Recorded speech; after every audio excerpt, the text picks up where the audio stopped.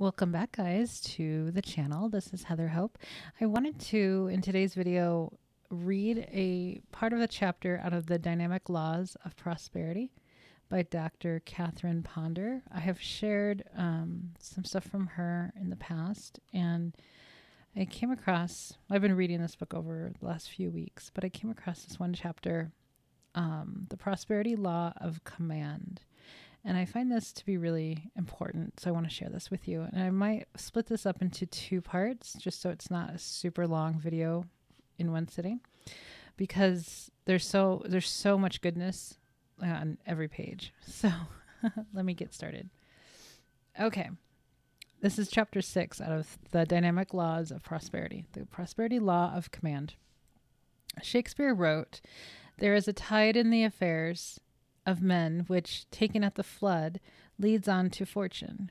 It is through the law of command that you release this flood tide of good, which has been built up through your list making and mental images. The prosperity law of command is your key to, to dominion. The word command means to have authority or control. Through an attitude of authority, you can take control of the good which you wish to experience in life. Many people look up at life as though it were a mountain towering over their insignificance. The law of command helps you to move up to the summit and look out over your world with a feeling of authority and control, which then produces like results. The secret of the law of command is this a positive assertion of the good you wish to experience is often all that is needed to turn the tide of events to, pro- to produce good for you swiftly and easily. It's amazing how fast doors open to us when we dare to take control of a situation and command our high expectations to manifest themselves. But there's nothing new about the law of command. In Genesis, we were told that Jehovah created the earth by commanding, Let there be, and there was. Genesis 1. Actually, the law of command is one of the easiest to use. After having made lists of your desires and after having mentally imaged them as fulfilled, it is then time to release the substance of them into words of decree and command, which can move the ethers into action. What you decree, you get. As the Bible promises, thou shalt decree a thing, and it shall be established unto thee, and light shall shine upon thy ways. Job 22 28. You command through words. You are now using the law of command because you are constantly making decrees, though often they are the wrong kind of decrees, producing what you do not desire. A businessman recently told me of an of an acquaintance who had been having trouble with his right arm. Doctors examined it and said there was nothing organically wrong with it. Finally, this man, who knew the power of words, realized that he had been exclaiming, I'd give my right arm if I could blank. He stopped using this expression and his arm got well. It was Isaiah who warned us Woe unto them that decree unrighteous decrees. Isaiah 10:1. Our woes can often be traced to our thoughtless remarks.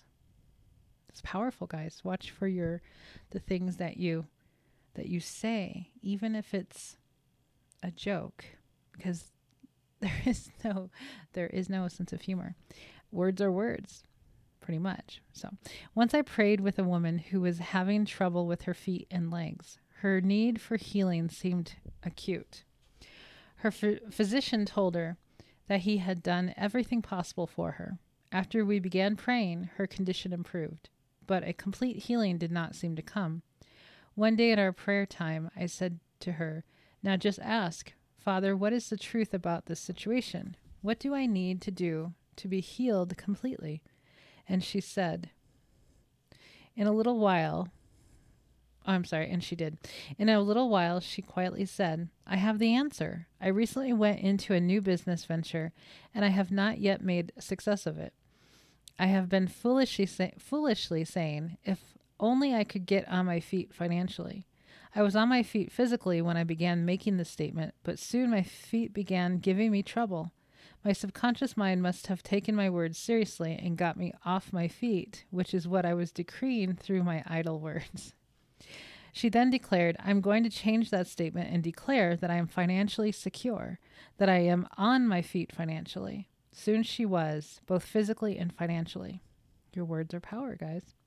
I know of a woman who is quite deaf in one ear. She constantly declares concerning anything she does not wish to hear about. I'm going to turn a deaf ear to that. Students of the mind have always been taught the power of words. The spiritual leaders of Egypt, India, Persia, China, and Tibet all taught their students to speak only when they had something constructive to say. Knowing the danger of idle talk, they set up a standard. They set up a standard to determine whether it was wise to say a thing. Is it true? Is it kind? Is it needful? Even if it is true, if it is not kind, then surely it is not needful. From counseling hundreds of people with financial problems, I have found that 99 times out of the 100, they do not solve their problems until they not only know, but fully use the law of command. When they begin daily, consciously and deliberately to assert the good they want, their commands seem to call it forth. Affirmations are a form of command. In modern times, we hear about affirmations, which are a form of command. Many are proving that the daily practice of verbal and silent affirmation is the simplest way of invoking the law of command to create good. In fact, the use of affirmations is such a simple way of bringing forth rich results that many people mistrust it, looking for a more complicated path to prosperity. The word affirm means to make firm.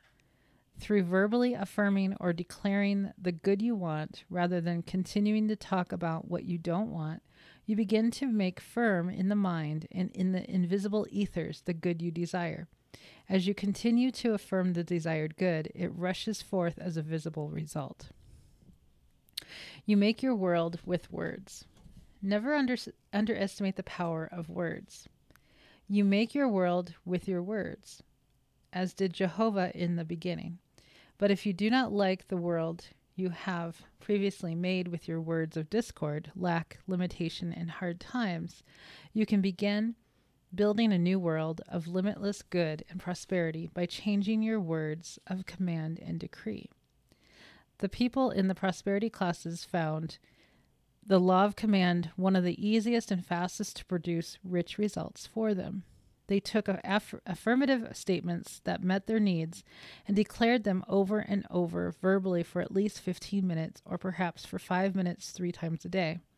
If they were not in circumstances that gave them the privacy to speak aloud the statements, then they would write them out dozens of times. One of the statements of command they used often was I love the highest and best in all people. I now draw to myself the highest and best people customers, clients, patients, etc. A salesman discovered that by using this statement, he attracted into his department only people who really intended to buy his merchandise. Daily, consistent use of this commanding statement also helped him to make a number of sales that he previously thought he had lost. In another instance, a sales lady used this statement for 15 minutes each day for several weeks with such success that she became the leading salesperson in the entire store. She was honored by her employers for having sold $44,000 worth of merchandise within a short period.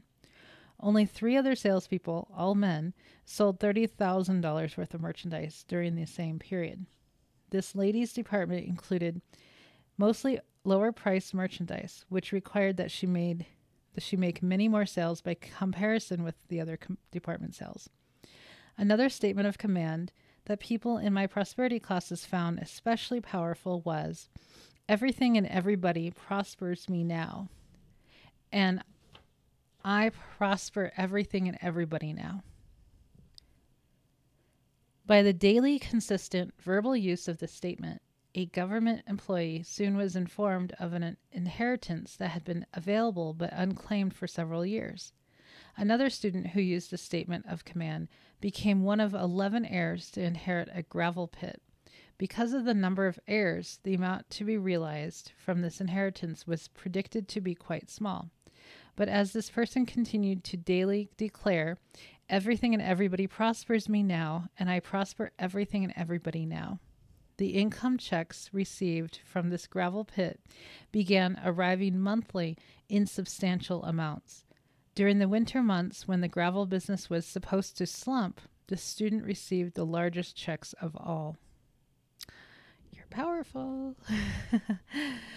your uh, command your good to appear.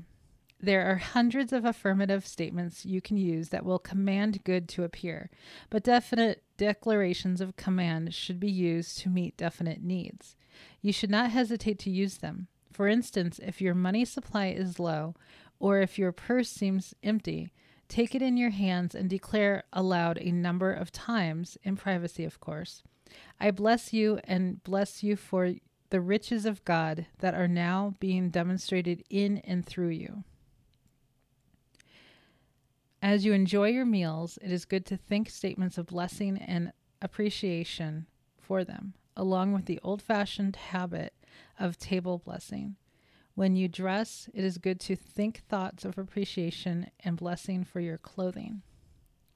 Once in a lecture, I gave the following statements for definite uses and was amazed at how many business people commented on them afterwards and asked for their exact wording. For the perfect clothes and wardrobe, which every prosperous thinker should have, I gave should have. I give thanks that I am beautifully and appropriately clothed with the rich substance of God. For the perfect, beautiful, comfortable home, whether it be one room, an apartment, or a house, I give thanks that I am beautifully and appropriately housed with the rich substance of God and for the perfect transportation, which every prosperous thinker should have, I give thanks that I am beautifully and appropriately transported with the rich substance of God. The ladies especially like this statement of command. I give thanks for ever increasing health, youth, and beauty. I suppose I might be considered an extremist on the subject of affirmative statements because I have them scotch taped in various spots in my home. Some of the neighborhood children have been so fascinated with them that they drop by occasionally just to see if I have changed the statements and to ask for copies. The above statement of the above statement about clothes is attached to my closet door. The one on health, youth, and beauty is taped to my mirror. The one I keep taped on the pantry door is I rejoice I rejoice in the bounty of God, constantly manifesting an overflowing supply here and now to keep down unnecessary telephone calls, which can be such a waste of time, near my telephone is the declaration of command. Divine order is now established, and maintained harmony rate and maintain harmony reigns supreme. It is good to begin the day with affirmative statements which help you to gain control of your day.